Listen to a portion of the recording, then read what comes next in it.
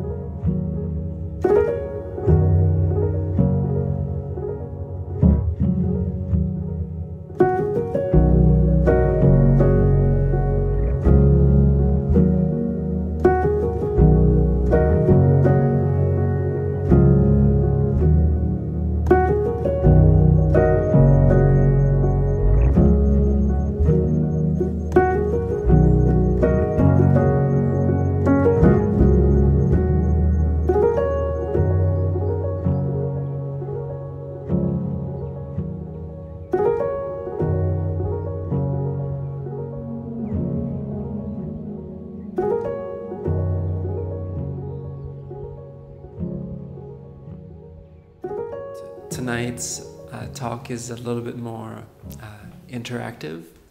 So last night was a bit of a kind of a putting our toe in the water of dependent origination. We saw a little bit of we saw a little bit of what it, what it could be like uh, to touch upon that topic. it can it can be a, it it can create a lot of papancha in itself. It can create a lot of uh, proliferation just to talk about it. and uh, often it's a it's viewed as a very uh, kind of a, a deeper teaching, uh, definitely in, in Buddhism. I like to try to keep it light in in uh, in sharing that teaching because there's there's ways that um, it can be understood that is just uh, quite simple actually and not uh, not so heavy and dense and uh, rigorously academic.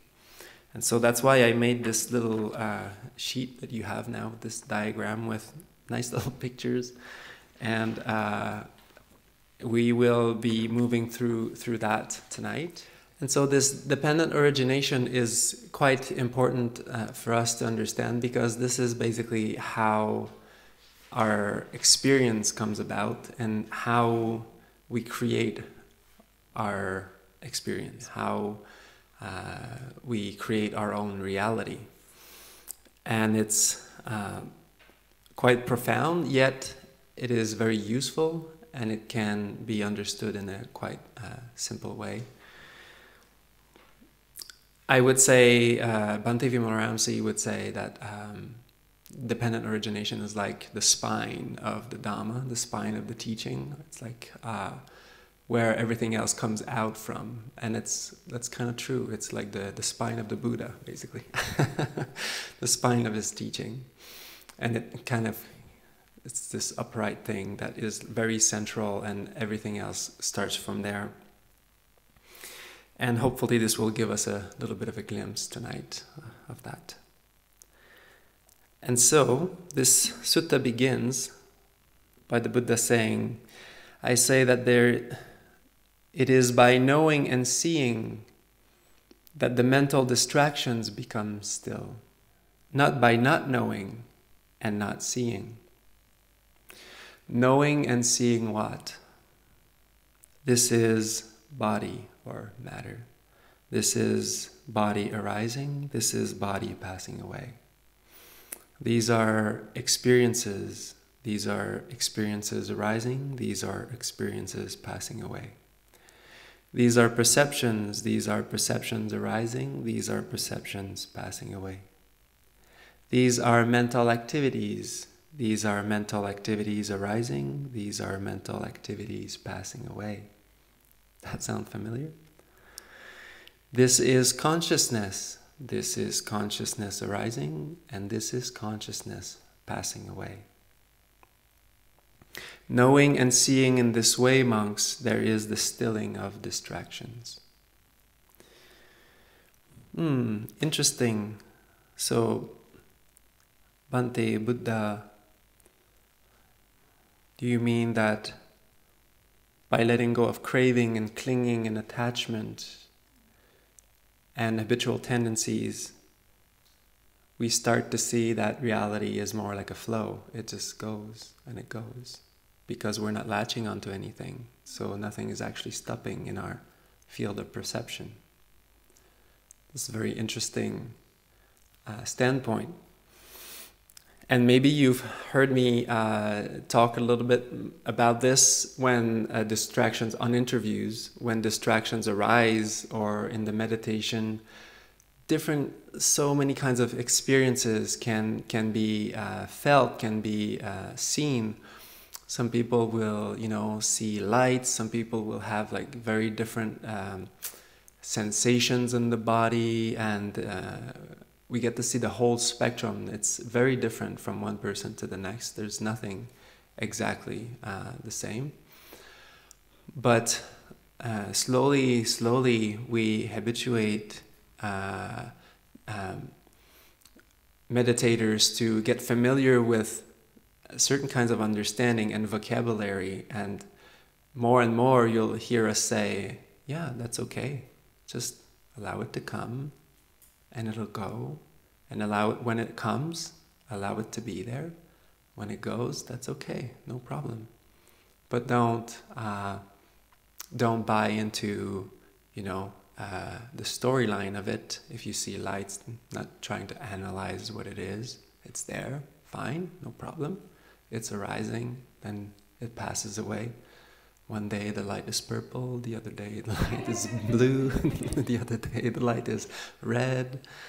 Um, sometimes it's a tingling sensation, sometimes it's a burning sensation, sometimes it's a wind sensation, sometimes it's all kinds of things. It, it's okay, it doesn't matter. Like we saw yesterday, it's just a contact with a sense door and there's an experience coming out of it.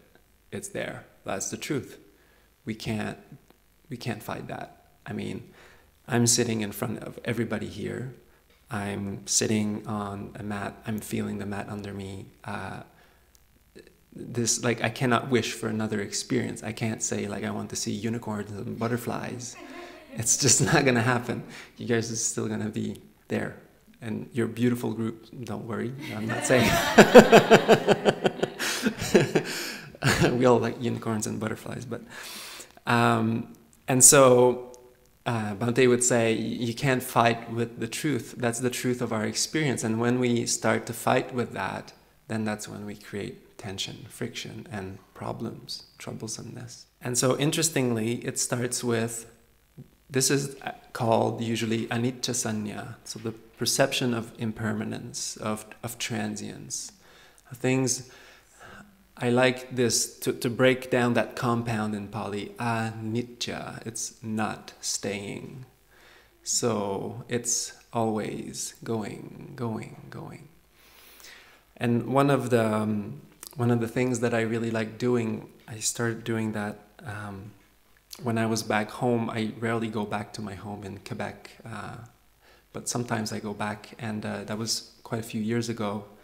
And we have this slow. I live on the countryside. It's uh, farmers' fields, and um, uh, it's very slow, kind of country river that kind of meanders through the fields. And uh, would just go there, and it's not much water. It's not like it's not like a really big river but um, just enough so that I could like put my whole body in and be kind of supported. And only my, my face was out and uh, I was breathing.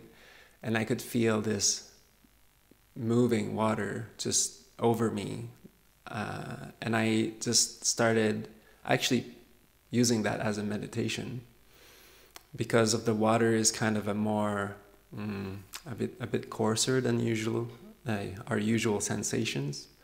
It's actually quite uh, uh, calming also, and I could just uh, stay there and just feel this constant flow of it's all going, it's always going. There's always more water coming and washing through, and there's no as long as we're alive, that's our experience is a river, our reality is a river, whether it's from the body, uh, sensory experience, whether it's perceptions, and whether it's mental activity, mental constructs, or consciousness. And we'll see that in the later stage of this talk, how even consciousness is a flow. And so, I've actually um, I really like that, and I recommend it to anybody who wants to try it. It's really it's really great if you have a small river or a creek anywhere. I did that in Sri Lanka too sometimes, and uh, lately in in Kalimpong in the mountains, uh, uh, that's where I mostly stay nowadays, and I'll be speaking about that later. But um, there's a place where I go. It's like a big rock, kind of an outcrop, and uh, there's this nice cool wind that comes to, and I kind of sit there and do the same thing, and uh, just kind of feeling the constant washing away of the constant flow of the wind or the water, kind of puts me in that very kind of still space and so, yeah, you can try that. That's just my uh, invitation, open invitation. And now we will begin the, to look into the little chart. And this will be somewhat interactive. Um, it's not that complicated, don't worry.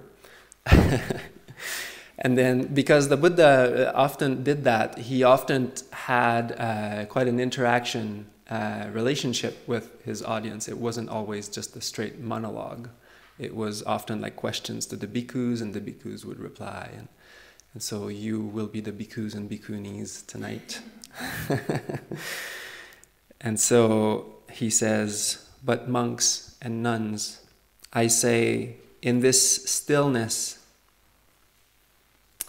because we're talking about the Asavakkhaya here, and um, the the Asavakkhaya here I translate as um, the stilling of distractions, so that it's more accessible for us. Um, asava has, um, in its meaning, uh, comes from the root shru, and shru means to flow. Like I think I explained on like day two or something. And uh, here is like, um, it can also be interpreted as uh, asavakkhaya is like the, the withering, the drying up of the mental kind of streams outside to all of these things.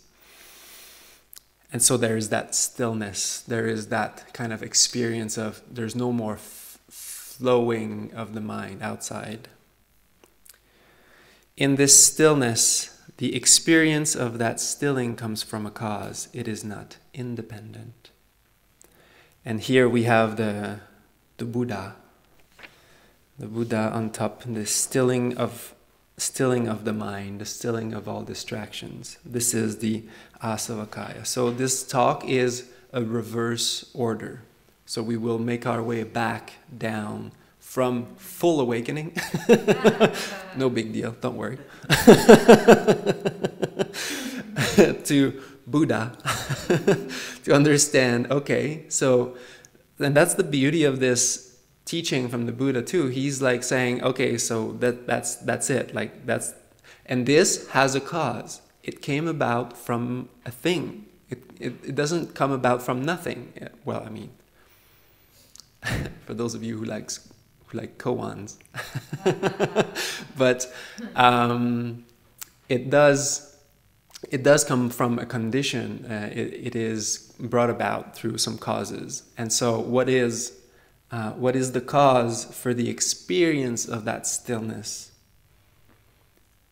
So, monks and nuns, what is the cause for the experience of that stillness?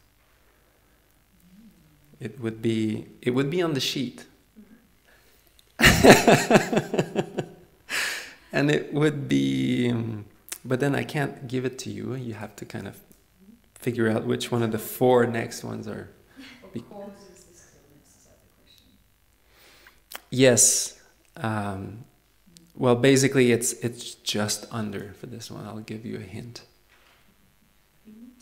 Yes, vimutti, vimutti. Yeah. So asavakkhaya is dependent on vimutti. Vimutti is often translated as, and this is where you can uh, pen down or write down the classical uh, words. Vimutti would be kind of liberation. Uh, in the like Bhikkhu Bodhi translates that as liberation. And Asavakkhaya, he translates that as the destruction of the taints. That's the one. the battlefield. For those of you, yes. Mm. Yes, so um, basically, this is something I understand more like a it's not something that's being released, but it's like um, you know when I gave the talk on the um, jhanas, at the end uh, there's that um, uh, in that release one knows this is release. I think that's what it's referring to. It's like more of this and kind of result of the end of the kind of the path, the practice. But there's you know like in in all of this there's so many synonyms and the buddha is always kind of changing things around a little bit. So i think we need to keep uh, some some looseness around these terms but you'll see just down below uh, not too long from now disengagement that's another place where that's more like the active kind of or and then below there's like passaddhi also so that element is always there, but this release vimutti is like this kind of like breaking free kind of thing. So that would be more this. Once there is that breaking free, anyways, that's how I understand it, is that the mind is completely still. You know, there's no more movements. Yeah, I have heard vimutti being translated as freedom. freedom. Yes, yes. Yes, I would totally agree. Mm-hmm. Yeah, definitely. Um, one thing that I really like is to keep an open mind when reading the suttas because it's so rich. And anyone who knows more than one language knows that translation is not a black and white thing. You know, it's, you can't, like, my first language is French. And I noticed that uh, when I was starting to learn English, for example, and then other languages uh, like Sinhalese and uh, like Spanish. Uh, and, you know, actually, I noticed dependent origination before knowing about dependent origination in myself, before even knowing about Buddhism. Um, because I realized when I was learning English, for example, that whoa, like I can't express myself the same way that I express myself in French. And therefore, there was a big chunk of my personality which I couldn't transfer. and so, just the way that, um, and that personality, that's what I mean by that. And it started to kind of trickle in that understanding of, hmm, what is that personality, anyways? and because you know it's all conditioned like you have friends you speak the same language you have similar expressions you have body language that is relating to that and then when you change your language you change the circle of friends you change the bodily expressions you can't express yourself in the same way so it's very very different it's a you know it's a constant kind of a check on the mind to be like hmm yeah, I don't have any kind of landmarks for like for this right now. I don't know like what to do with my body or like how to say that or so um, yeah, I just think languages also is a really good kind of window to kind of showing us our how we build our personalities and how we uh, cling to, you know, who we are. Uh, and and this will this is this is the sutta for that. This is the talk for that. So very good. We're done with the first one. Yay! but this release comes from a cause. It is not independent. What is the cause for release? This vimutti. And of course, you know, we're not expecting to like really understand everything about this every single word tonight. We're just kind of, you know, bringing that up. Uh, it takes a lifetime, if you ask me. Uh, you know, that's the beauty of it, is we just keep reflecting on it and it, it deepens all the time. So, samadhi, yeah. Maybe if you try the other end.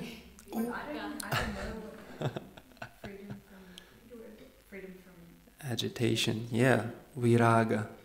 Yeah, freedom from agitation. And this is usually called uh, dispassion. Another trauma triggering. yeah.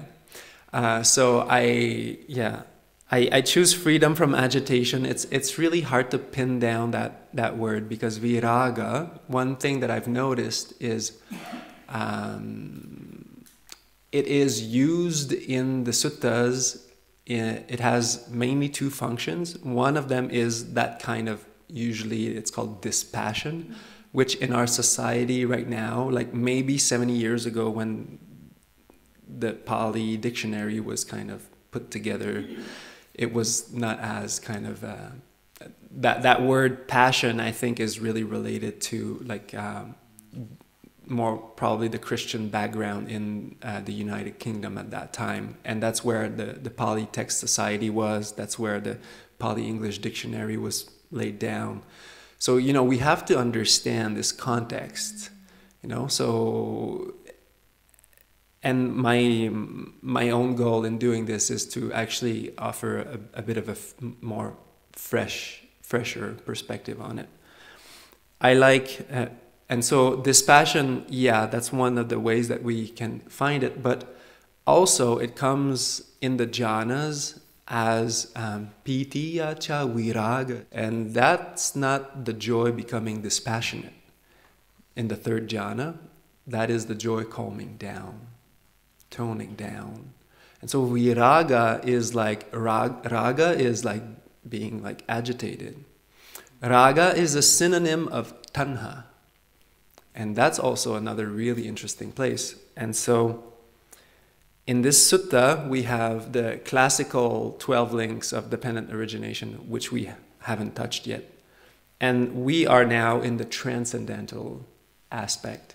This is where um, we're not really in the, um, uh, the process of how we condition by craving, clinging, attachment, and all that.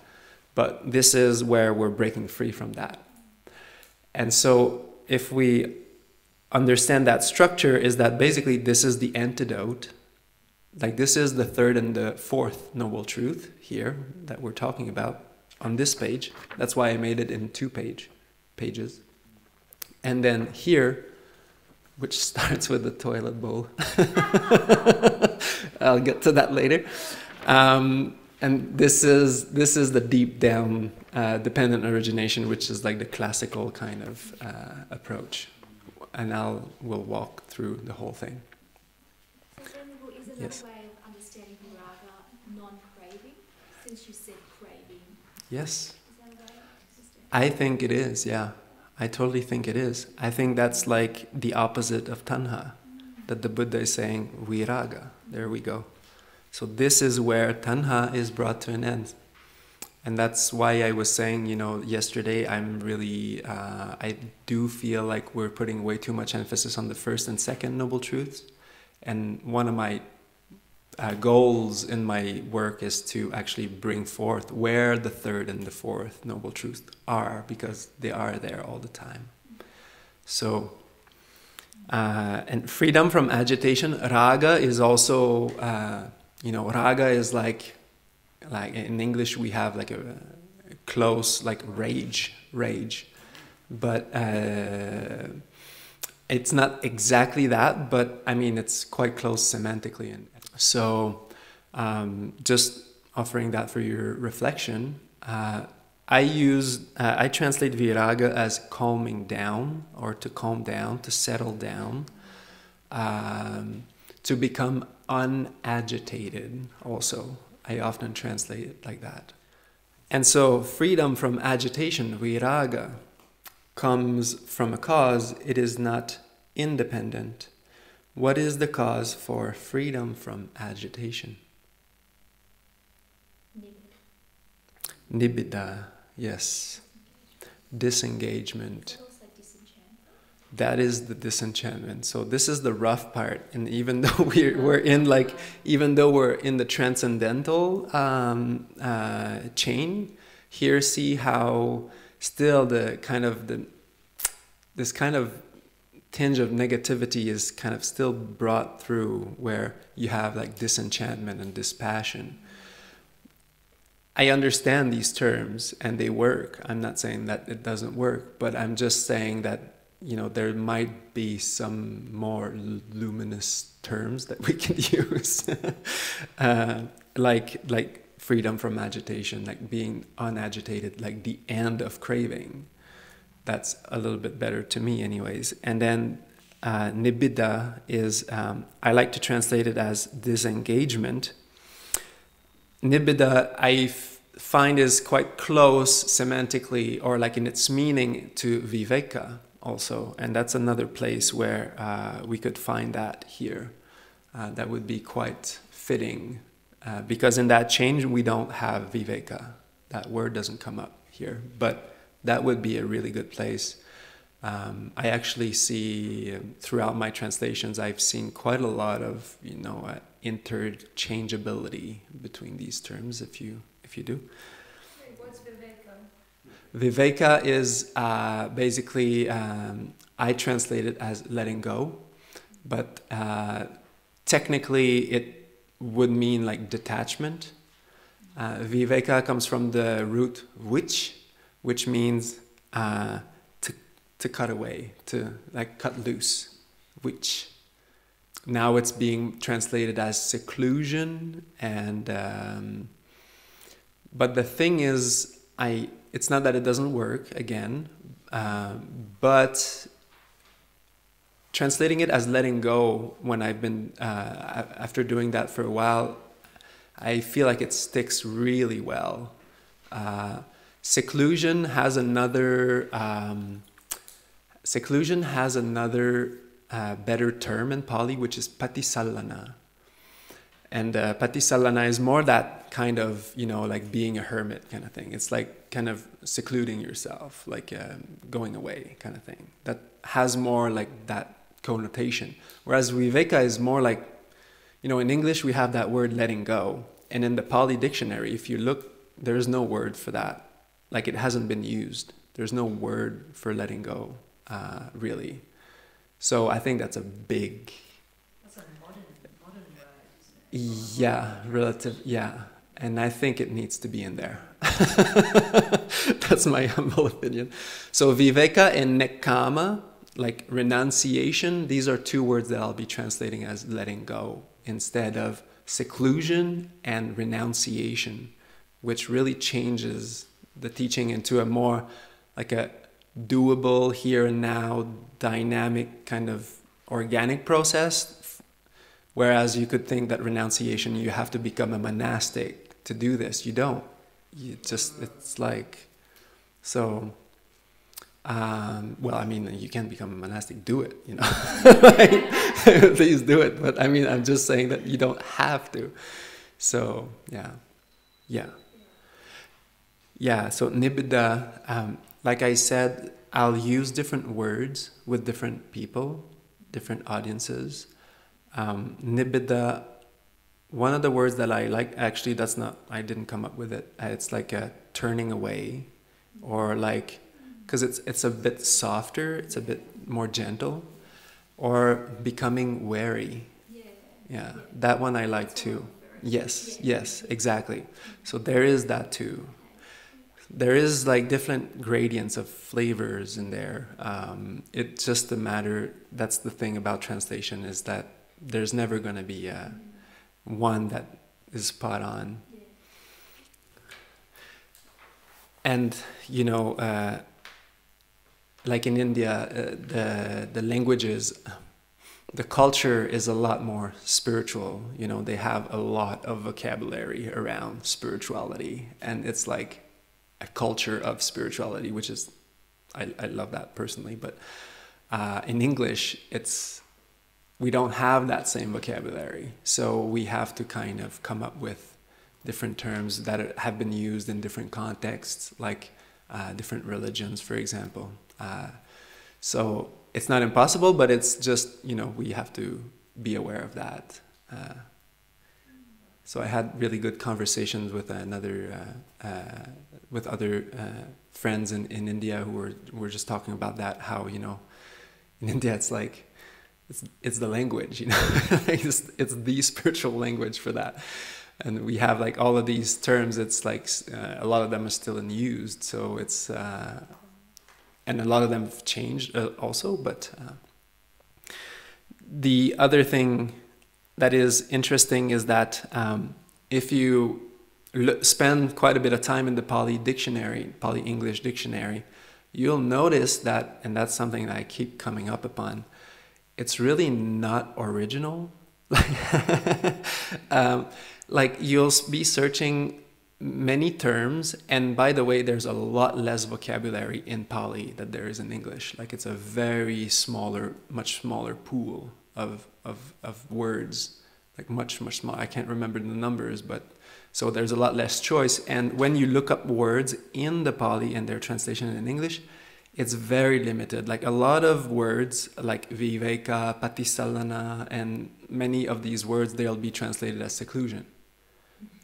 And so it's like we we end up with a very very very narrow pool of words.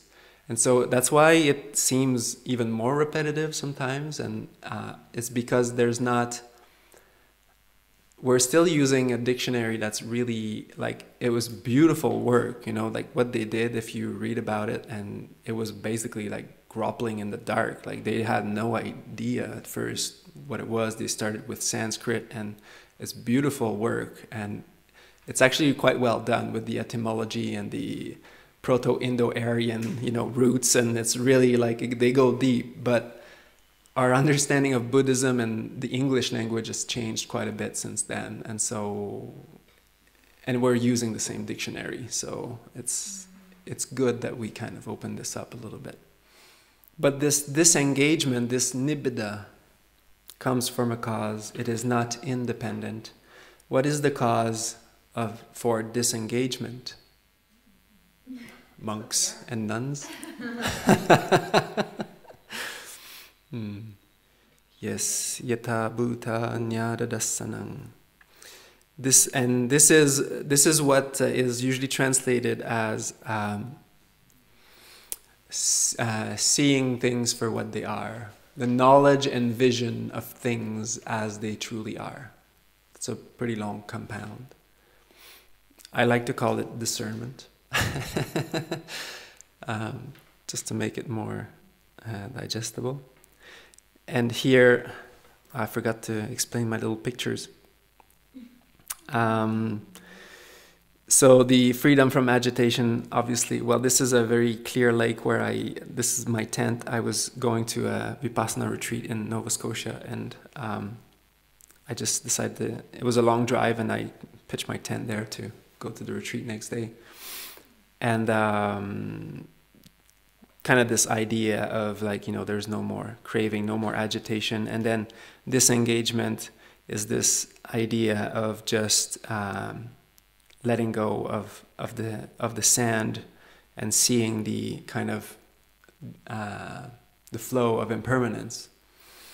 And the discernment is I like this uh, simile of the sand dunes for the four foundations of mindfulness, where you have You know, when when awareness is uh, completely clear and free from distractions and um, uh, developed, uh, we see things for just what they are, as like this kind of. I was talking about bare awareness uh, the other day. Uh, it's kind of like touching upon the same thing. It's like uh, the body, the sensations, mind and mind objects, or dhammas, dhamma uh, I like to see like the sand and the sand dunes as the body and feelings, and then the sky as the mind and the clouds as like whatever is coming in the mind moving through. But that is very clear, you know, like the desert is very kind of pristine and so it's kind of stripped of everything and it's just this, you know, it's very clear awareness of that. But when we when we see things for what they are, we're not actually clinging to them, we're just seeing it. And so, therefore, we're letting go, we're disengaging. We're just like, there is that, it's, you, we don't even have to do it. It just happens. That's the beauty of it. It's just, you know, as we practice, we see things for what they are. And that means we're just not clinging, we're just completely present. And that's it. So we're letting go of the sand. And this discernment, this yatha bhuta jnanadasanam, comes from a cause. It is not independent. So, what is the cause for this discernment? What brings about this clear clarity of mind? Mental collectedness, yes, samadhi should be answered. And this is where we start to probably touch base on more familiar grounds. where uh, it, it, it makes sense that so this is what everybody here is doing. So this samadhi, this collectedness of mind, this calm, clarity, um, that's another word for samatha vipassana. I like to call it calm clarity. And um, here, uh, that's basically when we have that mental collectedness. Uh, which is kind of like uh, the result. Then we have that wisdom, we have that discernment, we see things for what they are, and we're not clinging, we're letting go, we're seeing the impermanence. There is no more agitation, and there is uh, uh, the release of mind, basically. So there was a phase where I was translating samadhi as meditation because it does that's the tricky part about that word is that first of all there's absolutely no english equivalent. And um, and the buddha invented that word most probably because it was not in the earlier vedas. Uh, it was only since the since the buddha. Um, and so basically when the buddha talks about you know the threefold training sila samadhi panya you know, the, the training in virtue, the training in meditation or mental collectedness, because that's clearly very close. Uh, mental collectedness, meditation, dhyana, the vehicle of clarity, the vehicle of the mind. Uh, so we're really touching on very, you know, uh, similar uh, names. But yes, I think I might have left it there because sometimes I just like to leave it there and give like people another kind of flavor, I guess. But yeah, um, mental collectedness in this in this um, in this sutta, I would use mental collectedness because it refers more to that aspect of having a collected mind, not just meditation. Um, I mean, th- there's a lot of th- things to say about that, but there's a lot of instances in the suttas where the Buddha uses the word samadhi in, like, basically meaning meditation. Uh, so, yeah, practice samadhi, monks. With samadhi, you will see things as they truly are. And so, mental collectedness comes from a cause. What is the cause for mental collectedness? Very good, sukha happiness. Very good. Or ease. Yes.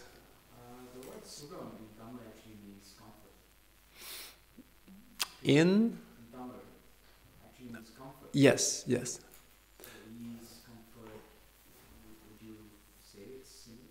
Yeah, totally. Yeah, yeah. I mean, the the word sukha again is, um, and that happens a lot more with uh, Indic languages and uh, Eastern languages. I feel the semantic field, like the um, the the me the range of meaning, is a much bigger for one word than we have in English, and we have more words in English, and we have even more words in French. it's actually it's actually quite nice to speak in English because there's too many words. Um, but uh, actually, that's something that uh, when I was learning Sinhalese in Sri Lanka, um, I really had a hard time because I, and especially being from a French background, what I wanted to share, like my ideas in my mind, had so many words. If I were to translate all of these words in Sinhala, like they would listen to me for two seconds and they would be like, "Who's this guy?" You know, like he's just like talking, putting so many words, and it's just, it's just like such a much simpler language, like in in that sense, where you just like go to the core kind of thing all the time. Uh, and so I got to learn that a little bit more there. And so this, this it's kind of like the same thing. You know, the word sukha is used for so many things, and the word dukkha is used for so many things. And the word sukha just means pleasant. The word dukkha just means unpleasant. By the way, it doesn't mean suffering. so really, if we go down to the the real meaning of it. That's just what it is, just unpleasant. But in English, uh, the word happiness, I guess, is just nice to have around, so I like to keep it there. If it was ease, then it would, it would. I, I use ease. Sometimes I'll say both. Actually, I'll just say ha- happiness and ease. Kind of, I'll just plug it in.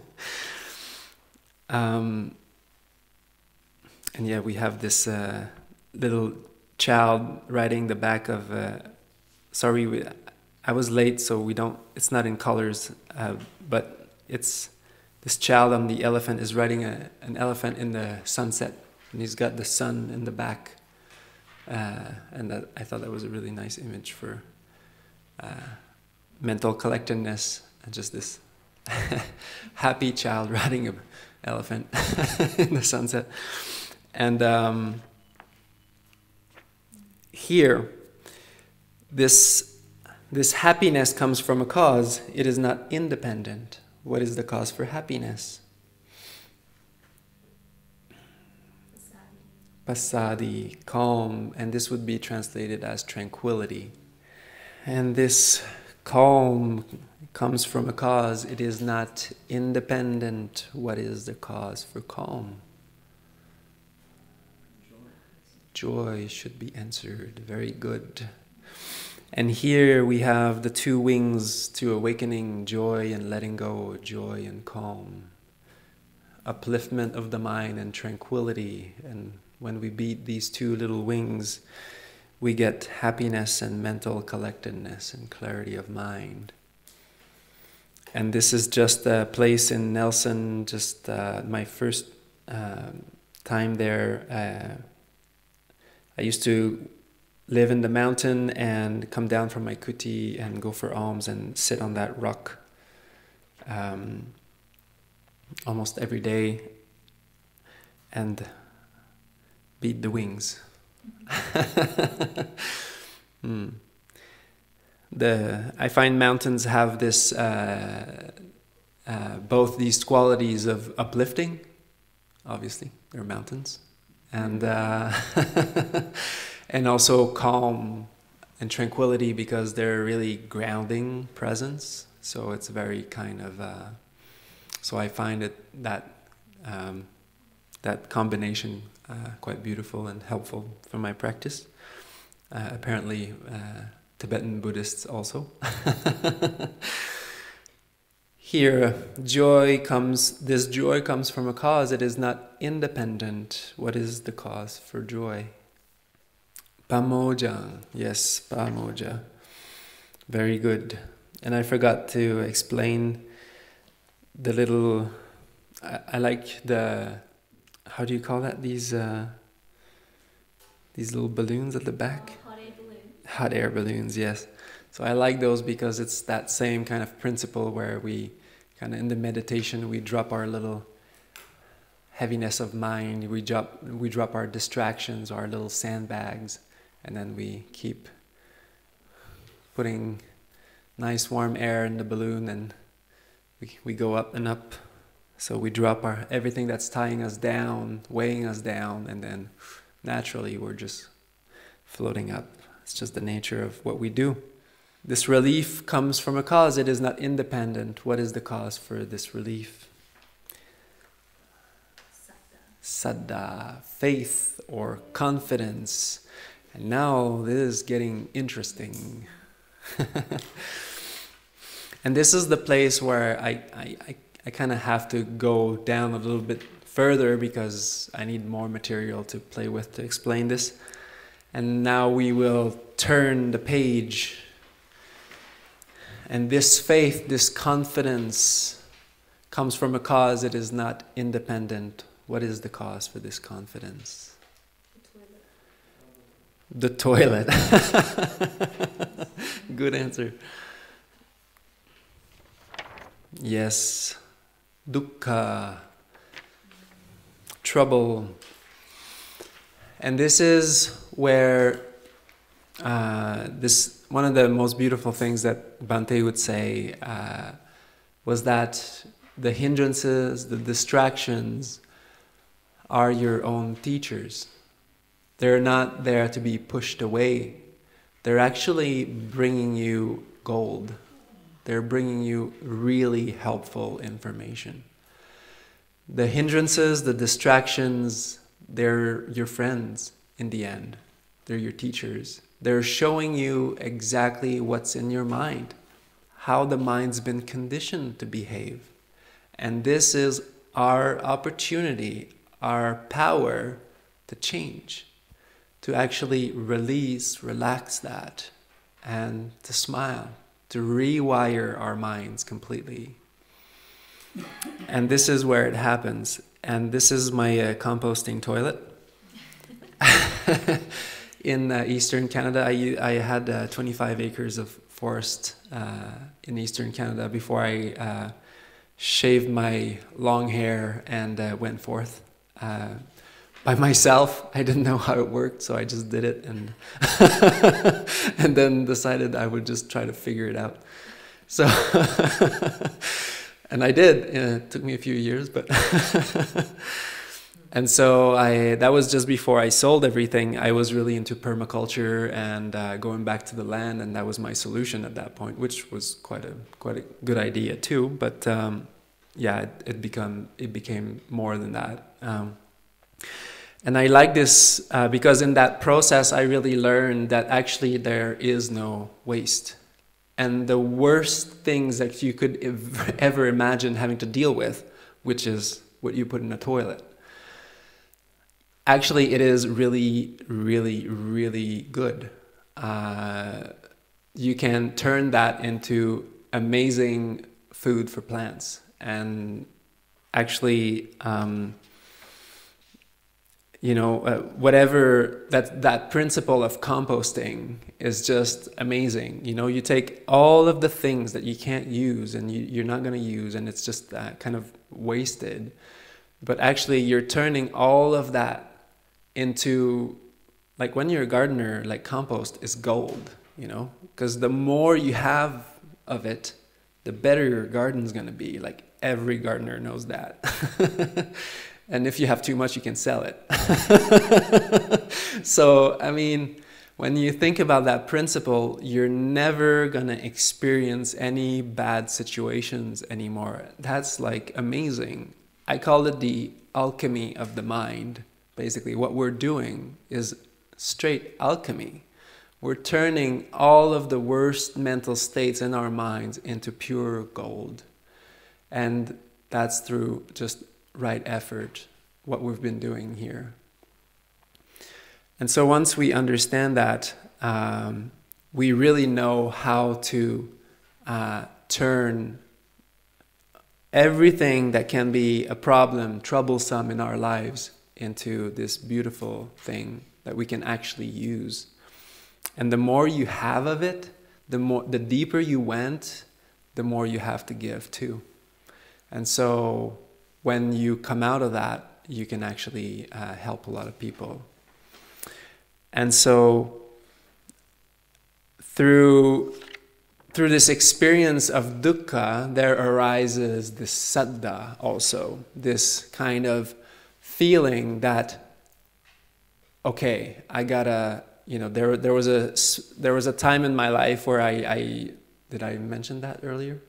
Where I said um, that I basically hit rock bottom, like the bottom of my well. That's how I called it. Uh, I couldn't see, you know, any light in my life anymore, and it was basically that was it. was not a good place to be. I really, uh, uh, through just my own ignorance, not knowing what is skillful, what is unskillful, uh, basically did mistakes and I felt terrible about it. I felt completely terrible. And I started, but it was a blessing in disguise. It was that very thing that woke me up to like, hey, you, you need to wake up, you know? And actually, now I see like these were like my angels, you know, telling me you got to change and you you got to be doing something much better than this. And so, um, but through that hardship, that's where the the nut gets cracked, and we have to open up. And this is actually really good. And there, there's this saddha that arises. And there's another word in Pali that is called samvega, also. That is that feeling of urgency to actually take action to change. And if you ask most Buddhist monks, it's usually very similar.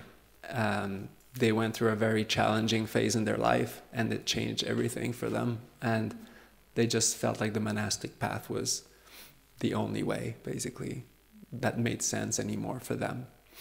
Uh, I'm no exception, and that's why I put the the little Samanera, and I just think it's just kind of cute. He's just like reborn in like Thailand, it seems, and it's just like, you know, because it's after the whole chain of like rebirth and all that, and he's just like reborn and just like, I'm not doing that again. just going forth. Like, uh, yeah. Anyways, I just thought that was kind of cute. Yes. Um, so from the, the confidence, basically, the confidence is where, saddha is where we have the Buddha, the Dhamma, and the Sangha. So we also have that interplay, that layering of, that's where we get the teaching. So that's where the saddha comes from also. Because, for example, for me, I was at the bottom of my well, but I had this one thing was the Dhamma that I just started to discover. And because everything else was shaved off from my life, I just like, that was the only thing that really made sense. And so um, a lot of people, um, well, I mean, in different kind of slightly different ways. Some people is more like, uh, like even getting even better, or you know, you don't have to be going through a like huge traumatic event uh, like I've been through, or like it's some people have you know just different lives and better better qualities or faculties than I had, um, and so. But there is that element of encountering the Dhamma, gaining faith in the in the teaching, and therefore in the Buddha, and therefore in the collective of people who are practicing this, and the relief arises from that from finding that refuge, from finding not just like in, in words, but in like it's a feeling in the heart that you feel like I've come upon a refuge. And, and for some of us, when we say the refuge is like it's actually really truly how we feel. It's this only refuge in this world that is kind of very, uh, that is unshakable, basically. and so this is it on the light note. Anyways. and so here we are, going deeper past the toilet, deeper down. Um, and this trouble comes from a cause, it is not independent. What is the cause for trouble? Hmm. Interesting. What's the cause for trouble? Birth. Yeah. Yeah, so this is another traumatic uh, vocabulary. Speaking of which, yeah, yeah, yeah. I, I, I cut on that pretty fast when I was in Canada, and I said, like, you know, birth is destroyed. Some people were like, okay, this is not good. so I had to really change that because uh, you know in the sequence where the, the somebody uh, becomes awakened, for example, he'll say like the holy life has been lived, birth has been destroyed, basically. But we're talking about jati, which is like rebirth, and it's a whole. You know, you need to know a lot more about it. But uh, one of the beautiful things that Bhante had to bring uh, to to us, to me, anyways, that really um, he really helped me and, and a lot of people to understand this dependent origination in a, in a simpler way, in a more applicable way here and now. And that's what I kind of like to more focus on personally, because we can get very esoteric about it and really philosophical, but um, I find it's really useful and applicable to when we know it in a simpler way. And he would say basically, um, this is the, the birth of uh, the birth of action. That's what he would say. But I call it uh, blind action or blind reaction. It's like giving rise to uh, blind reactions, which do not have mindfulness in them. That's the thing that happens when you try to send a text message to your friend and you're drinking coffee at the same time on your way to work and you're giving like food to your cats, kind of thing. And then you bunk your toe on something. And then you hear me talking about bunking your toe on things uh, because that's kind of like one of my mindfulness checks in life. When I bunk my toe on something, I'm like, all right, Mr. Monk, mindful Be mindful. And so um, there, there is uh, there is no there is no mindfulness, and that means all of the unwholesome states. That's where they are. Also, like anger, when it's to the point where you're going to be shouting at someone. Are you mindful? Are you actually thinking for the best of the situation on the moment, kind of thing? Or is it just like a reaction? Somebody hits you, you hit them back. It's that phase, it's that point. They tell you something you don't like, you retaliate. That word retaliation, that's, that's where it's found. And usually this is, well, yeah, this is usually called birth in itself, but um, the birth of action that is uh, not mindful. At this point, this section actually, uh, that's why I arrange it like this. Uh, I don't, I really did try my best to not make it linear, by the way. because it's always put in a linear way, and I think there is a lot of richness in actually understanding it in different ways. And I put that block there because I find that this is all coming together in some ways. So I would say it's true uh, also. It's not. Uh, uh, and the way that I explain it, well, you're you're gonna hear it, and then uh, you, you, can tell maybe uh, for yourself. And so, these blind reactions come from a cause; they are not independent. What is the cause for these blind reactions?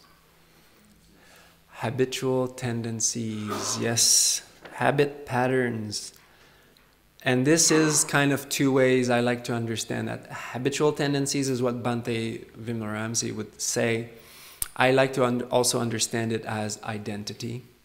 Um, you know, in in the big kind of classical explanation of um, paticca samuppada, dependent origination, we're talking about not just one lifetime. So basically, this would be the birth of the next being, kind of thing. And in this, um, uh, bhava would be like the, the becoming aspect, like the, that force, that momentum that kind of pulls, uh, pushes somebody through uh, samsara and until rebirth, basically, until birth. But that's very esoteric, and you need to believe in rebirth, and I don't even want to go there. I mean, um, you can choose to believe in it or not, or we can really understand it in a practical way here. Uh, because it really does work, you know, uh, in terms of uh, understanding how we're bringing up like creating ourselves, basically creating our own identity. And I would say birth of identity actually would would be uh, would be quite valid for birth. And so here we have um, habitual tendencies um, which have already been accumulated. Um,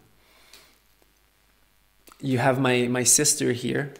Uh, she's uh, this is uh, my family's trip in to uh, British Columbia when I wasn't born yet.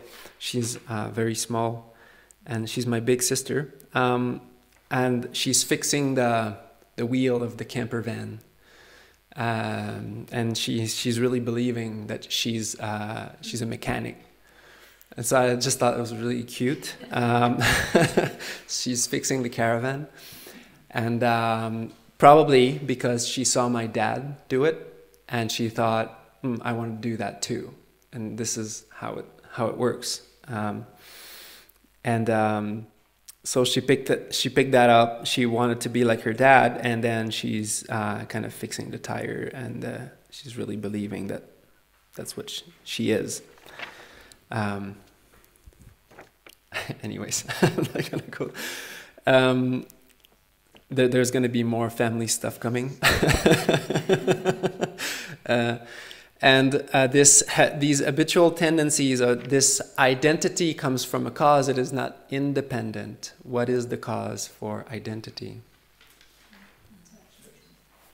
attachments and this is where it starts to get interesting again is that basically because of attachment and we have wanting before we have wanting and then we have attachment um, and then we have identity that is like this encapsulating all of that. But attachment, what is identity? It is just this bundle of attachment. And this is what I was explaining with my uh, analogy with language earlier is that we have this bank of expression, of physical gestures, of verbal expressions that we have that we think this is how I express myself. This is how I talk. And uh, all of that was accumulated by years and years and years of talking. You can see that really well. That's the best in children. Children will just behave exactly like their mom and dad. They're like gonna say exactly the same thing. It's, it's, it's, it's wonderful. It's just like you can see that process very clearly. It's like um, I'm going to say the same exact same expression, the exact same words. Um, my sister has uh, two kids, two, uh, well, then no, they're getting bigger. Uh, my two nephews, and when they were born, they, you know, uh, they definitely had a personality of themselves. They were definitely, uh, one was more like uh, his mom, and the other one was more like his dad but um, they also you know just seeing them recently and they've picked up a lot of you know their parents. And you know i see one of them antoine he's just like talking like his dad like, like making little jokes and like thinks he's kind of like funny. And he is actually. But that's that's what's happening here. And we accumulate all of these things. And this is why again we can't really see it very clearly. But this is my um, my old job. Just before I went forth, uh, I used to be um, uh, market gardener in a very big organic greenhouse in eastern Canada. And uh, this is my propagation area. And that's why I like to translate the word papancha, which is usually proliferation, into propagation, because I'm just an old gardener. that's really what happens in the propagation room. You know, you have trays of like hundreds of and thousands of little seedlings, and you know, that's where you just start. You, you, choose which seeds you want to grow because depending on what you want to do or what's your, I don't know, uh, target uh, uh, market, and uh, and then you just spread it out. You know, you you make it grow, and then you have different phases. You know, you have to. Uh, um, different areas for different stages and so this is what's happening we're just planting these little seedlings and then uh, at, at the end of the day we have a big garden that we call me this is this is my garden this is who i am and i also um, yeah i'll come back to that analogy later uh, we're, we're getting more towards the computer stuff soon and so uh, this uh, this attachment, these attachments come from a cause, they are not independent. What is the cause for attachments? Wanting, craving, that's the big one, the big word. And by the way, attachment is usually upadana, and upadana is usually clinging. That's the classical understanding. And I, I find craving a, a little bit a little bit rough uh, sometimes, just because it's kind of a uh, it's a big word I find for for what it can be sometimes. Because sometimes I feel like I don't know, like craving. I, I see this like big hairy monster with like big teeth and like drooling kind of thing, like it's just like eating everything.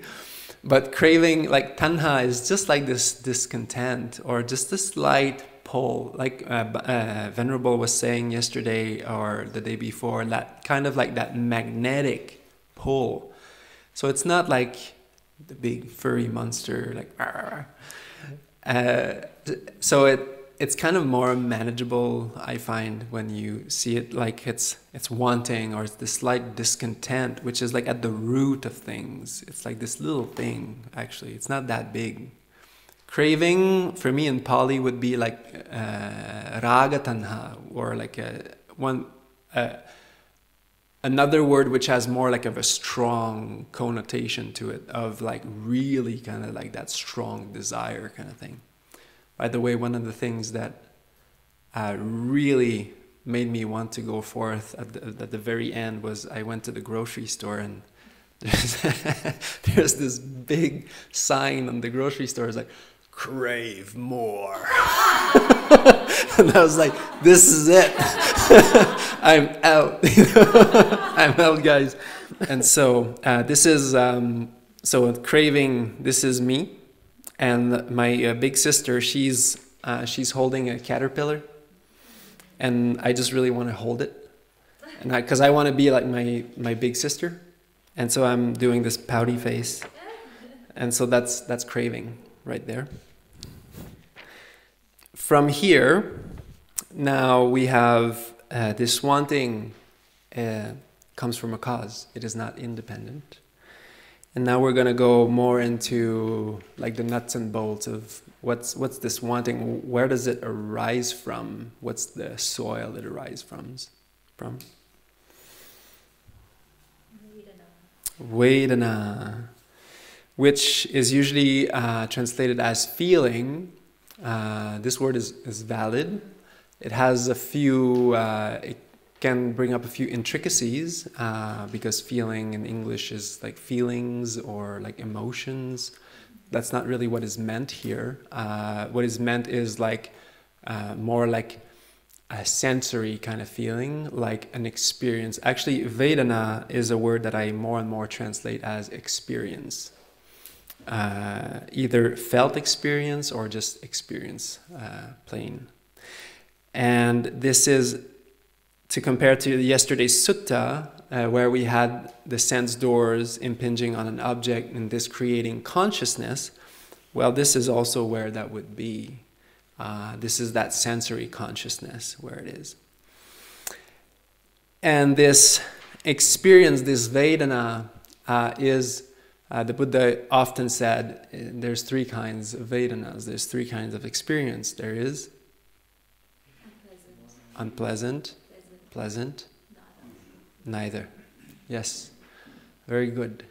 And so this is what is meant here. There is these three, three kinds of experiences, and that's it. We're not speaking really about emotions or uh, emotions would be more like um, at the level of um, blind reactions or uh, depending on which emotion we're talking about here unwholesome emotions this vedana this experience or feeling or feeling tone some, pe- some people translate it like that uh, comes from a cause it is not independent. What is the cause for experience? Contact. Very good. And so this is where we had this explanation yesterday. There is a sense like the ear there is an object like um, well earlier this retreat there was the, the wood stove and then zen came and rescued the retreat um, then there's that banging on the, the wood stove and then there's uh, a sound consciousness or uh, auditive consciousness arising. And so we're starting to see, oh, okay, so this is quite like mechanical, right? It's quite uh, devoid of anything that we're in charge of. It's not really up to us at this point. Uh, this contact is dependent, uh, is uh, comes from a cause. It is not independent. What is the cause of contact? Six senses. So, what do you think if we didn't have the six senses? Could we have any kind of contact at the six senses? yes, very good. That sounds quite logical. This is like the rational part. rational, mechanical, this is like the nuts and bolts here. This is not like we don't have a choice here. We do have a choice at craving or wanting or tanha or discontent above our experience, we have the six senses, we have contact, which is like these 11 million bits or whatever you want to say. we'll have a good talk with Bharat, I guess. Um, but then uh, that's why I put uh, the matrix at the back because this is just the raw data. This is the raw matrix there's no choice there. It's just like this is the information. This is the sensory information coming in, and there's a lot of it. And what we do from there, that's where the choice is. But we can't control the senses. We can't control that bottom part here. And so this these six senses come from a cause, they are not independent. What is the cause of the six senses? Monks and nuns? Namarupa should be answered. Mind and body, mentality, materiality. Um, what's another translation? Name and form. Uh, I really like the analogy of the computer where there is the hardware and there's the software.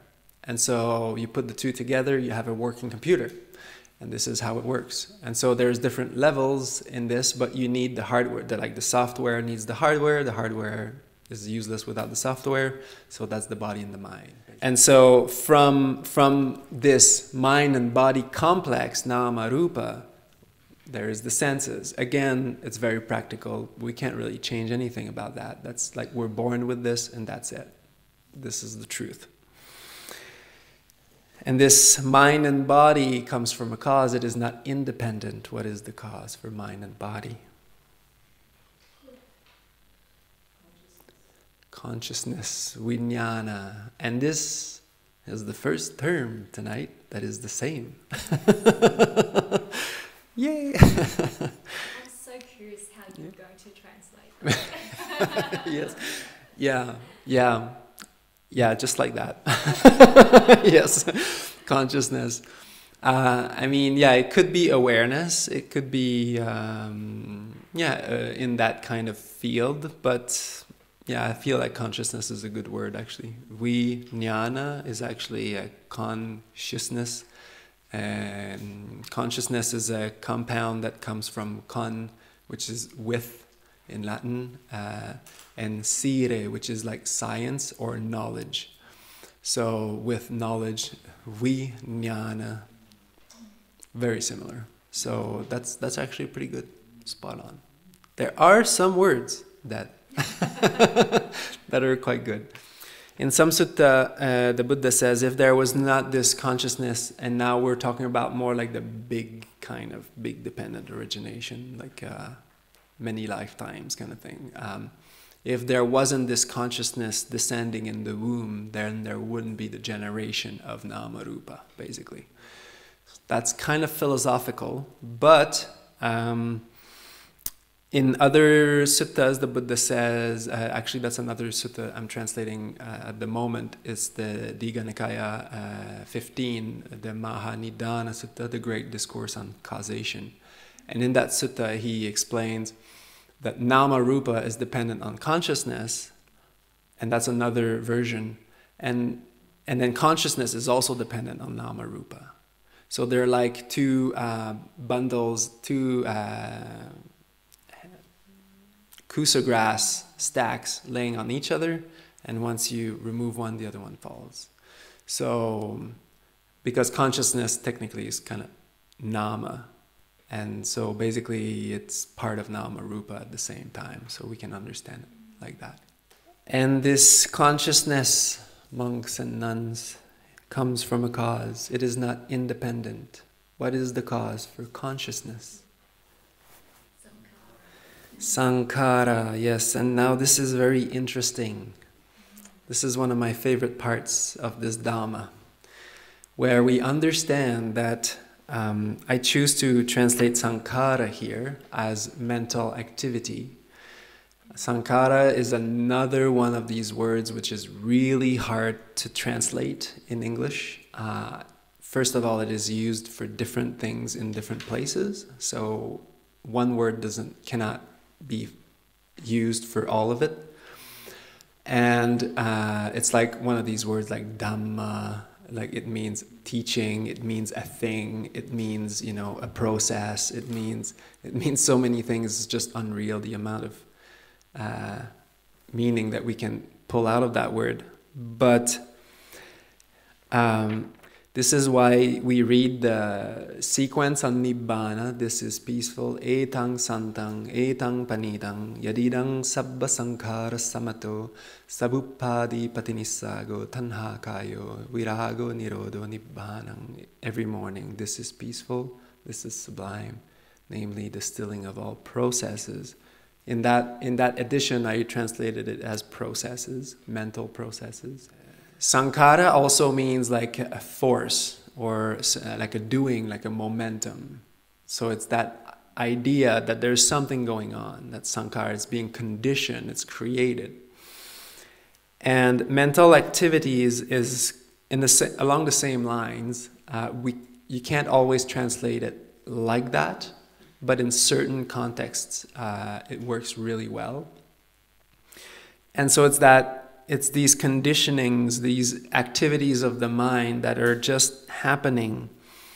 And here we start to notice that actually the Buddha is saying that consciousness is not everlasting. I mean, he's explaining that in many of the suttas where he he's explaining right view and wrong view, basically uh, wise understanding and uh, unwise understanding. And he's saying that uh, because at, at his time and, and in our time too, there are loads of spiritual teachings that end with a, a pure consciousness that is like everlasting, ever present, behind all of things. And uh, actually, even in Buddhism, it, it has taken root. Uh, but the Buddha was quite clear in the early suttas that there is something beyond that. And that's not that it's wrong. It's not like it's a, a bad attainment. It's a great attainment. It's a great realization that that clear awareness behind all things. But the Buddha said, but there's also nibbana, which is a little bit further, where all processes, all mental activities are completely broken out, liberated. And then there's the, the blowing out. Nibbana is a loaded term again. Uh, it's used in many contexts, many situations. It can be used as a meditation kind of um, stage at the, for example, at the at the end uh, that is compared to cessation, but it doesn't only mean that. It means just, it can be just the nibbana, the, the blowing out of greed, hate, and delusion. And it is ultimately the blowing out of greed, hate, and delusion completely in an individual.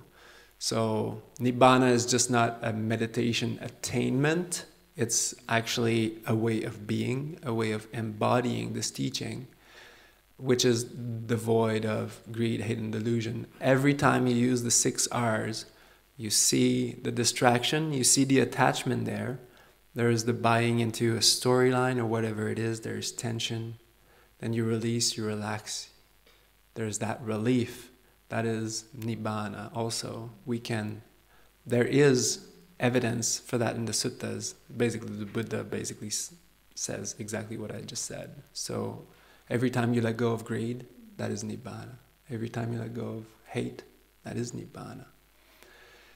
And so we need to understand, you know, like the Buddha used these terms quite flexibly. You know. And this particular um, approach is really um, precious to me, and uh, I, I, really love this part of dependent origination where it's so profound. We're, we're seeing that actually consciousness is like this cloud of starlings, these little birds that fly around. And it looks like a cloud, but it's thousands of birds. And that's what Sankhara Paccaya Vijnana is. These mental activities, these mental conditionings create that cloud that we think is consciousness.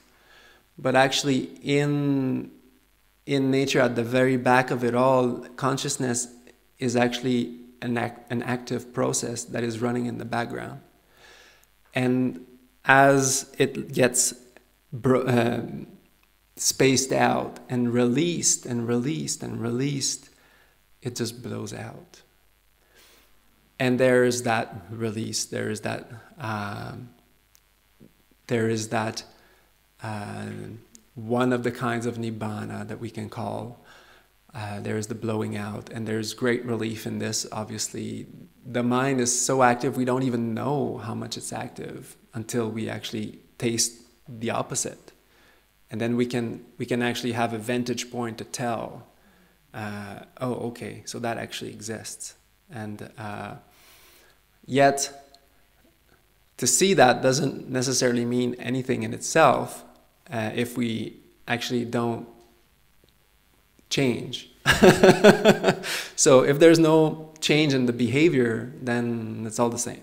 You know, it doesn't doesn't matter. In the end, the Buddha was very clear. It's about the fetters. It's about greed, hate, and delusion.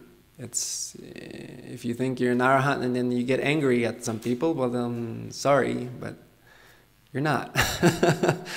need to check the behavior. So, and but this is kind of like my disclaimer and warning and caution around this because you know you don't want to like start to believe things uh, that are not real. But this is how it works, and this is the process of vijnana, the process of consciousness. And I have uh, these little seedlings here because the sankharas are. Uh, um, uh, called uh, sometimes like the seeds, you know, the, the, little seeds that are like latent, dormant in the mind. There's like millions of them. And they just need that little bit of water and sunshine, and they're like, pooh, they just grow. And when causes and conditions arise, then they, they, just, they just grow on their own. There's like, it's a bag of seeds, basically. Uh, Vijnana is a bag of seeds. and then there's also the computer analogy where you know you have uh, you have basically the raw data that was interpreted uh, with wanting and then uh, attachment, repetition. Um, the raw data was kind of coded as our behavior. And then we've made like little softwares you know in in our personality in our identity. This is how we run. You know i have a software that says uh, i'm a buddhist monk. I have another software that says uh, i'm uh, uh i'm nobody. I don't know. I'm uh, i'm i was a gardener i have another software that says another thing and you know the more we have of these the more we have a complex identity around it, and the more the belief in identity is strong. But this also is a flexible process and a gradual process, and we actually let go slowly of this, and it weakens the whole chain. Every time we relax, we let go of distractions.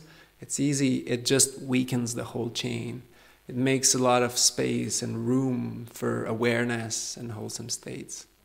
The, the coding that we've used to make the softwares, well, the softwares, they, they start running in the background. Like they just operate in the background, and that's those are the sankharas. And so there's different levels. Like you can exit a few windows. Like that's what we're doing on retreat. You know, you, we're, we're quitting a few programs, ending tasks,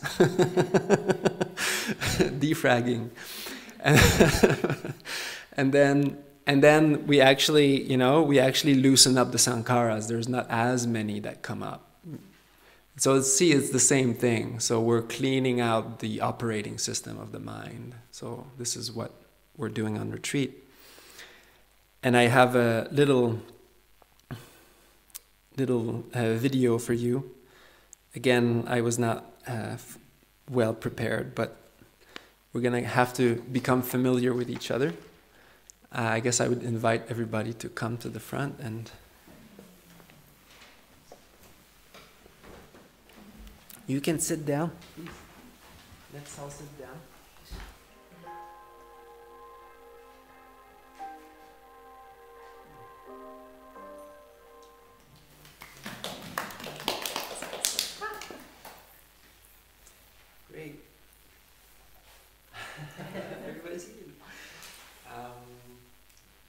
Okay, well, maybe we can uh, go back to our places and then we'll finish. I think in the classical understanding, you would get probably a, a, a bit of a more complicated answer. Uh, where like about the word formations and like what what it means and the commentaries and um, like this is where the Abhidhamma is starting to get very big on on that aspect personally, I that's I I think the the Buddha's teaching when it's understood in its most simple expression, it goes the deepest.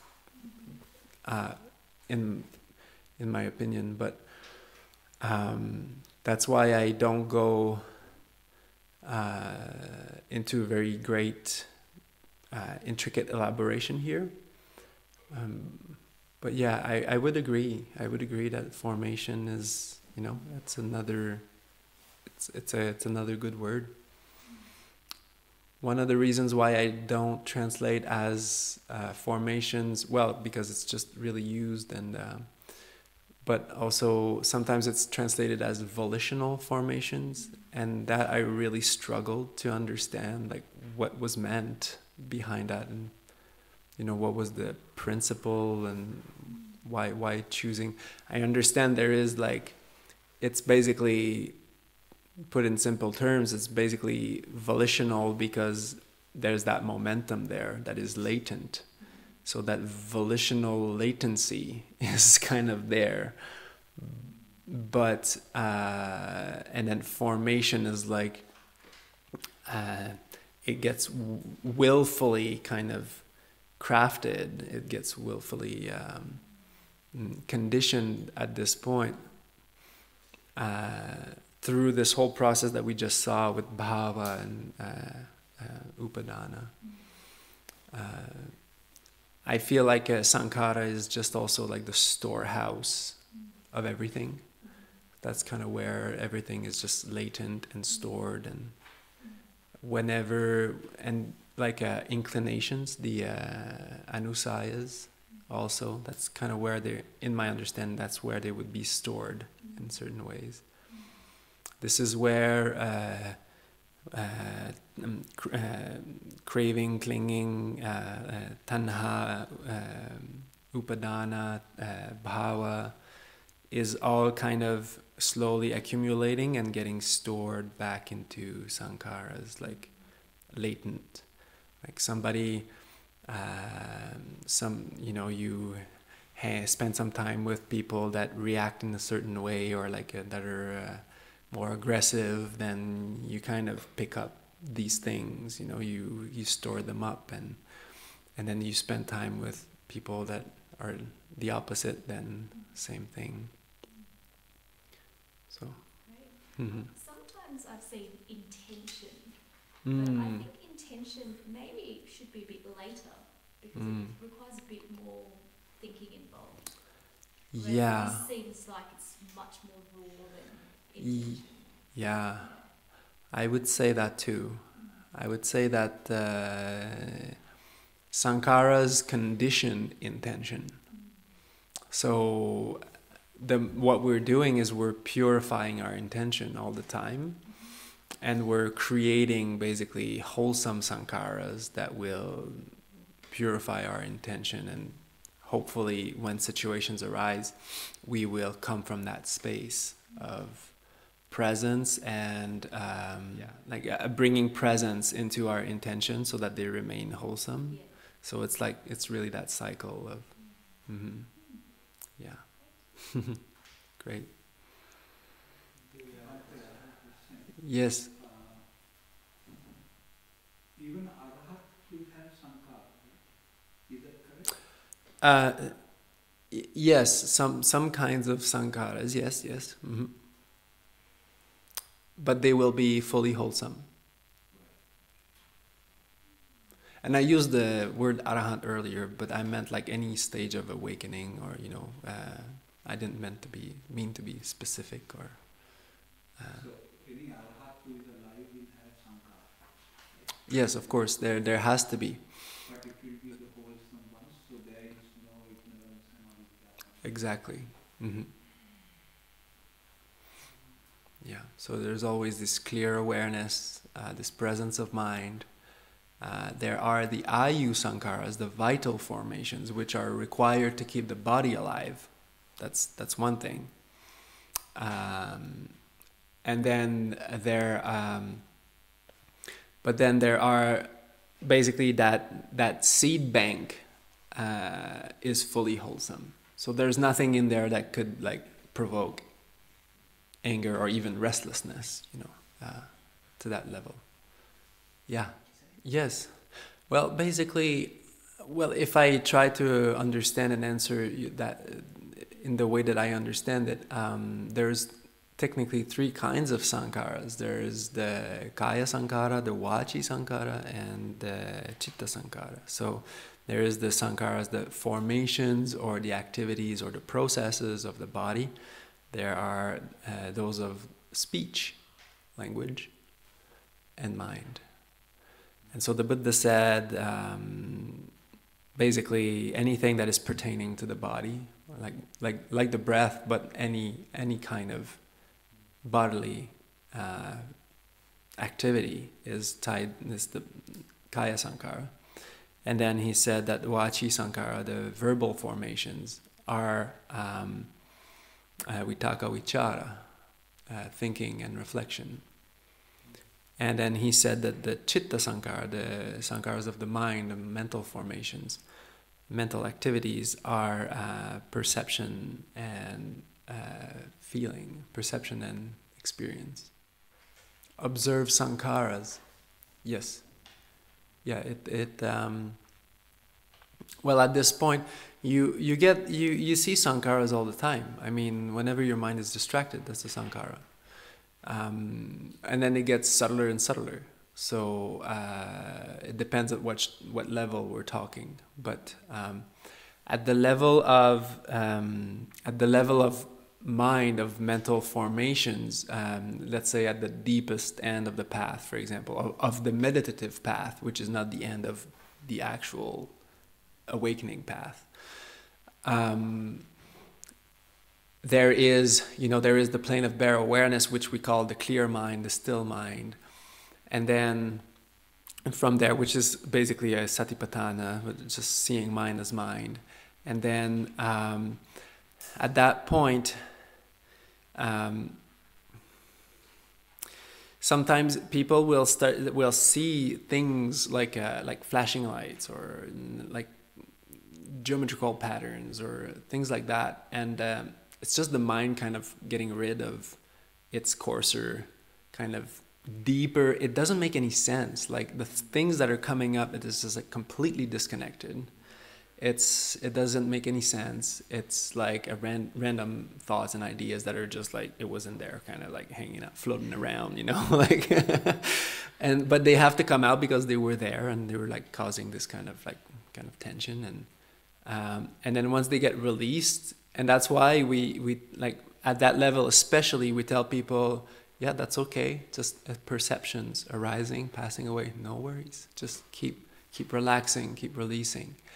And then um, and that's that can be understood as sankharas.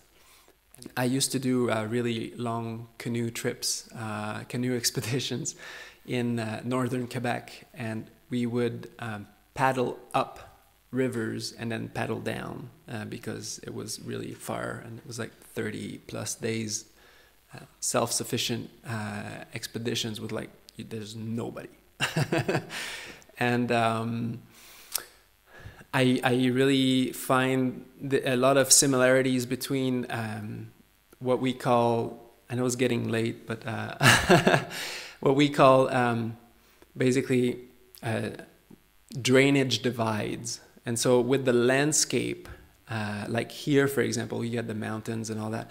All of the landscape with like the rock, the mountain formation, um, the way that the water falls and uh, there's like a ridge for example and then on one side water will flow this way and then the other side will flow the other way. And so for example that drainage divide it's like there's like i don't know five major drainage divides in quebec for example. And then they have like these maps of explaining what it is and all of that water in this zone is flowing like in this river kind of thing so you can know where you're going, what's gonna, you know, are you gonna paddle down or paddle up? because it changes a lot of things. And so, um, but as we were paddling up to get to our river, uh, which was quite strenuous, uh, at some point, you know, you, you, paddle, you have a big flow, a big river, and takes a lot of strength. And then at some point, like it gets narrower, That you actually you branch out, and then you start paddling a, a smaller creek and you kind of haul your canoe and it's heavy and uh, but you still you, you keep going and then it's it gets really really small and you get to a place we would we would get to the place where it was like a, kind of like a like because it was quite far up north so it was like tundra and there was not a lot of vegetation like few little trees but not that much it was beautiful like bare granite and waterfalls but he, at that point there was barely enough water to see. And you couldn't actually see where it was going. And I, I would like take some, uh, rip off some, rip out some uh, little pieces of uh, grass and throw them in the water as like we were we would be portaging our, our canoes and I would just like throw some and it would just like flow. And then I would just go that way basically to because there would be like many branches and it becomes a marsh basically.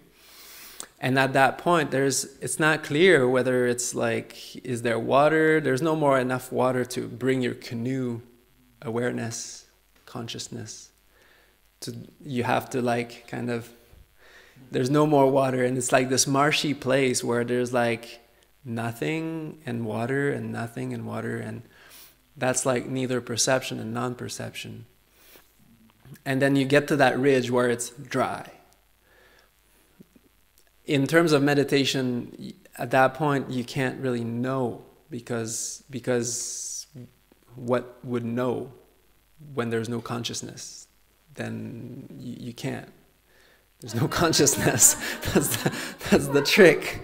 It's like it's just and getting rid of all the attachments that consciousness has to be consciousness is really intricate. It's it's like a package, and so you have to kind of a meditator has to kind of unpack it, unpack it, unpack it, make room, make room, and it takes time at, at that meditation level. We're talking about the sweet spot that I found uh, um, repetitively with people is like around four and a half hours of sitting.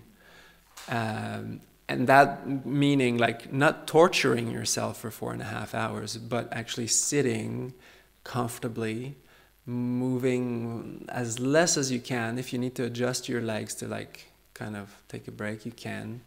Um, just be kind on yourself and your body, but mind needs that these hours to really kind of empty the whole thing.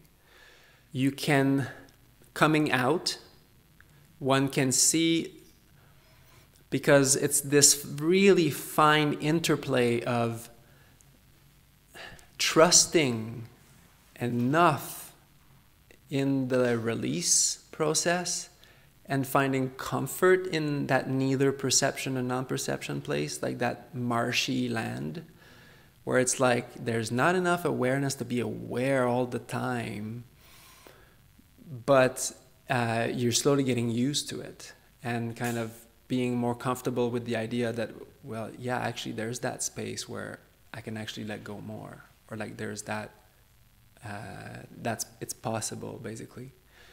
And then as one becomes more familiar with that, uh, coming, coming in, going out, coming in, going out.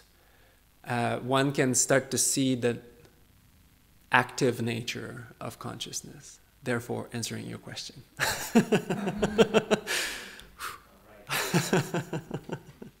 oh, yeah, I was giving a talk here. um, I think, right, okay. And these mental activities come from a cause, they are not independent. What is the cause of mental activities. Ignorance, yes, avijja, which I is it? Yeah, I translate this here as lack of discernment, because that is another trauma triggering word. Um, ignorance. So isn't it beautiful? Now nobody's ignorant anymore. but there is some lack of discernment sometimes. goes a little goes down a little bit better. and uh, yeah, of course, uh, we can play on words, uh, but if we are to indulge in tanha, upadana, bhava, and jati, then uh, these are the blinders. We're putting the blinders on and blinders on, blinders on, and it's hard to choose uh, properly. There's lack of discernment. We can't see avijja. There's no, we can't see. It's like it's, there's no knowledge, and that's be, that's why we take blind actions, blind reactions. But this whole practice that we've been doing here is about cultivating exactly the opposite. And when we cultivate the beginning of the path, the beginning, the transcendental part of dependent origination, the seven supports of enlightenment, the seven factors of enlightenment. We are coming out of that. We're making space. We're loosening up the chains. And uh, this is the goal here. Sequence lack of discernment brings about mental activities Mental activities bring about. Consciousness brings about. Mind and body bring about. The six senses bring about. Sensory contact brings about. Experience brings about. Wanting brings about. Attachments bring about. Habitual tendencies bring about. Blind actions bring about. Trouble. And trouble brings about. Confidence brings about. And relief brings about. Joy brings about. Calm brings about happiness brings about. Wonderful. Mental collectedness brings about. Discernment brings about. Disengagement brings about. Freedom from agitation brings about. Release brings about. Just as when it pours down heavily on the mountain tops, monks and nuns, that water rushes down, filling the main valleys and gorges. The main valleys and gorges being full, they fill up the streams. The streams being full, they fill up the creeks. The creeks being full, they fill the rivers. The rivers being full, they fill the estuaries. The estuaries being full, they fill the great ocean. And so it goes with this dependent origination. And if we let go, then we slowly calm down the flow of the river and we see it's all just going. And we be happy. Okay, I think that's enough. mm, you've been very good. So it has dependent origination. It's one of my favorite to explain it because it has dependent origination and it also has the way out of it, which is positive and uplifting. May suffering ones be suffering free, and the fear struck fearless be. May the grieving shed all grief, and may all beings find relief. May all beings share these merits that we have thus acquired for the acquisition of all kinds of happiness May beings inhabiting space and earth, devas and nagas of mighty powers, share these merits of ours. May they long protect the Buddha's dispensation. Sadhu, sadhu, sadhu.